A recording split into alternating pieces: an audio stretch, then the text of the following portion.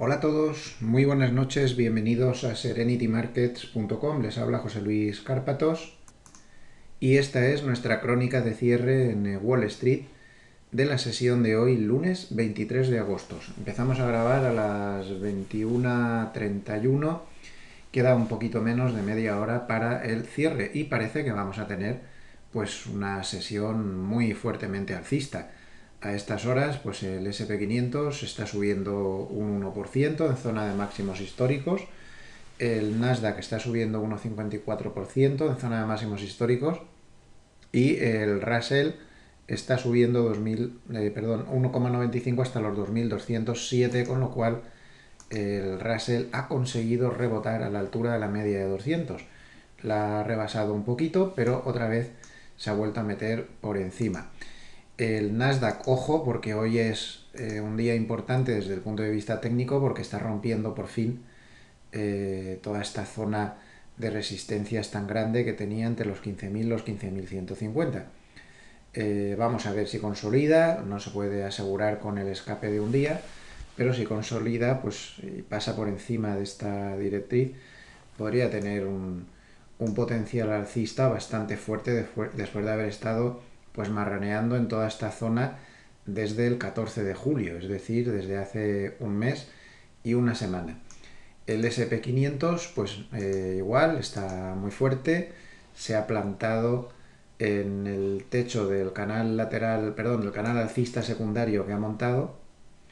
Si pasa eso, pues se podría ir al canal alcista eh, principal que le llevaría a la zona de 4600 no lo tiene fácil en esta zona porque entre 4.480 y 4.500 además hay otra serie de, resistencias ahí. Espectacular subida del petróleo con 5,52%, llevaba muchos días acumulados de bajada y hoy pues finalmente ha rebotado muy fuertemente. A pesar de todo lo que ha subido, si se fijan, no es nada comparado con todo lo que llevaba caído muy cerca de la media de 200, por cierto, se ha producido el rebote. Claro, con una ganancia del 5,52, pues todas las petroleras en Estados Unidos y los sectores afines, pues ni les cuento. Eh, es uno de los factores alcistas claramente del día. 5,52% el petróleo. El dólar mal, eh, está casi en zona de mínimos del día, con una caída del 0,42% con el euro y 0,77 con la libra y esto pues eh, le da alas al oro y en general a las materias primas, incluido el petróleo. Eh, el oro está ganando 1,29%. Y los bonos, pues ahí están tan tranquilos, eh, subiendo y bajando rentabilidades. Y de los bonos les quería yo hablar un segundo. En primer lugar, les aconsejo leer cuando terminen tranquilamente de ver este vídeo, este artículo titulado Los fondos empiezan a apostar por el potencial de subida de, rentabilidad de los bonos que se desvanece. O sea, perdón, que los fondos empiezan a apostar porque el potencial de subida de rentabilidad de los bonos se desvanece. Está hecho por Jimmy McGiver y es muy bueno el artículo y analiza una serie de cambios que ha habido en las posiciones que tienen las manos fuertes en los mercados de bonos, que ha pasado desapercibido para el inversor particular, pero que el inversor institucional está dándole vueltas a ver qué significa eso. Lo que está claro es que los grandes fondos no están apostando por subidas de rentabilidades de los bonos, más bien al contrario. Y fíjense también este interesantísimo artículo que ha puesto aquí eh, la web de Zero Hedge. Bueno, pues eh, habla de, qué pasa qué pasa con la alta rentabilidad. ¿Qué pasa con eso, con la alta rentabilidad? Y nos coloca dos gráficos a cuál más interesante. Vamos a ver, la, la cotización de los bonos de alta rentabilidad evidentemente está siempre muy influida por el sentimiento de riesgo. Y si ponemos la, la escala invertida, pues evidentemente cuando la bolsa sube, el SP500 sería la línea verde, cuando la bolsa sube, la, cotización de los bonos de alta rentabilidad pues sube. ¿Por qué? Pues porque hay un ambiente de propensión a, aceptar el riesgo y como la bolsa sube aceptando ese riesgo, pues los bonos de alta rentabilidad también. Cuando se dan casos en los cuales la bolsa corrige, como podemos ver, pues la alta rentabilidad cae. Como vemos, pues más o menos la, correlación de, la cotización de los bonos de alta rentabilidad inversa, recuerden que está invertida, pues es muy alta. Pero miren qué divergencia más espectacular. Todo el último tramo de subida del SP500, que ya sabemos que ha cursado con divergencias de amplitud y divergencia de todos los colores, eh, con esa actitud de los minoristas de que cualquier caída es una compra porque aquí no hay riesgo, eso no es lo que piensa la mano fuerte. Yo desde luego no soy ninguna mano fuerte y no lo pienso. A mí yo estoy muy preocupado. Yo creo que nos estaban metiendo en un berenjenal que no sé lo que puede durar, pero yo me siento igual, ya lo dije el otro día, que en el 99-2000. Me parece que aquí ya somos mayorcitos para darnos cuenta de que esto tiene un potencial de, darse una castaña de esas que se llevan por delante eh, algunos cuantos, tremenda. Esto ya se ha llegado demasiado lejos, pero también sabemos por experiencia de otras veces, y en el 99 pasó, que esta situación absurda se puede mantener durante bastante tiempo más. Ahora llevamos 199 días sin que el SP500 corrija un 5%, pero es que en el 99 se llevó a 400 días. O sea que aún nos quedaría el doble que esto. Eso, eso nunca se sabe. Desde luego el mercado acabará tarde o temprano fatal, pero no se sabe. Bueno, pues entre las muchas divergencias que hay, pues aquí tienen esta. Eh, los bonos no de alta rentabilidad no se han recuperado y el SP500, en cambio, se ha separado por completo. Ah, como dicen en, en Zero Hedge muy bien, dicen, ¿qué están viendo los bonos que no ven las bolsas? Pues hombre, pues está bastante claro, porque los bonos es un mercado más institucional y la gente está viendo que la cosa se está torciendo mucho con el crecimiento, pero mucho, y sin embargo, pues la, bolsa va a su aire con efectos psicológicos y con todo tipo de, películas. ¿no? Aquí se ve un poco también la correlación y qué pasó cuando hubo divergencia. Pues fue justo antes del crash de, del COVID. Ahí si recuerdan, porque esto no hace de esto no hace tanto tiempo, pues comentábamos todos los días que, los bonos estaban asustados y que estaban mostrando sustos y sin embargo las bolsas iban a su aire, también un poco surrealista, no tan surrealista como ahora, ahora es mucho más surrealista. ¿Cómo terminó la historia? Pues fue la bolsa la que se ajustó a lo que estaban haciendo los bonos, a ese mercado institucional que se pega más el ciclo económico y como sabemos la bolsa en el medio y largo plazo siempre se pega al ciclo económico, siempre. Lo que pasa es que el corto plazo tiene mucho ruido, tiene mucho ruido y a veces pues no se ve. Bueno, ahí les dejo estas, estas reflexiones que a mí me han parecido bastante interesantes.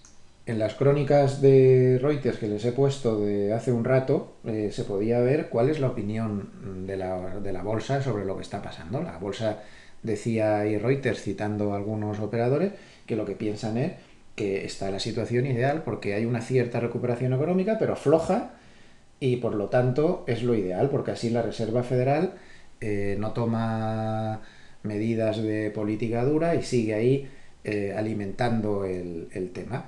Entonces la bolsa parece perfectamente consciente de que el crecimiento se está poniendo mal. Eso funciona a corto plazo, a medio largo plazo ya les digo yo que no.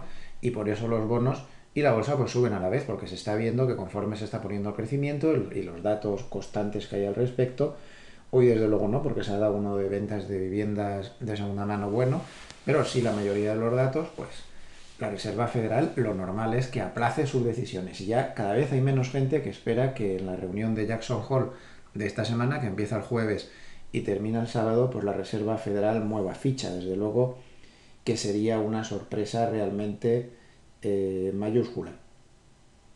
El... Alerta activada. Eh, alerta esta... Perdón. El comentario que ha hecho hoy McElligot eh, pues el hombre ha reconocido que él veía ahí peligro de que se abría una ventana bajista. Bueno, pues esto no hay nada infalible, pero es que esta vez no solo lo dijo McElligott, lo dijeron en Spot Gamma y sobre todo lo dijo Morgan Stanley, que, pero además que publicaron un paper entero para explicar el desequilibrio que se habría creado en el mercado. Bueno, pues dice McElligott que esto ya es un es surrealista y que sí que estaba la ventana abierta ahí, sí que estaba el desequilibrio, pero que está la cantidad de gente, sobre todo minoristas, que se meten ahí para, para poder entrar en las caídas, que nada, que inmediatamente eh, se, ha, se ha cerrado la ventana que había de peligro y han vuelto a llover las ventas de volatilidad. Que hay una especie de automatismo en muchos fondos, no solo en los minoristas, que automáticamente ante cualquier pequeño repunte de la volatilidad venden volatilidad, venden volatilidad y venden volatilidad. Esa estrategia es realmente muy peligrosa.